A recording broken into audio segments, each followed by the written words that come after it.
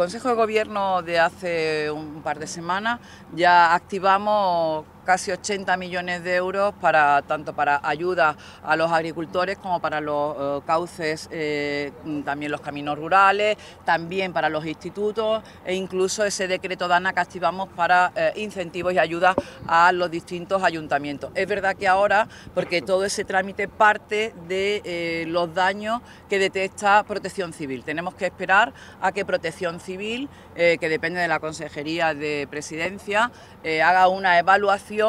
de todos los daños en los distintos municipios afectados y a partir de ahí pues ya decretaremos si han sido más de vehículos o de agricultores o de municipios eh, para ir de alguna forma pues eh, señalando el camino y viendo las distintas vías de ayudas que podemos activar desde la Junta de Andalucía. Es decir, que podríamos ir más allá de los 80 millones. Seguramente, seguramente iremos más allá de los 80 millones. Tenemos que esperar ese informe de protección civil, pero seguramente se activarán más recursos.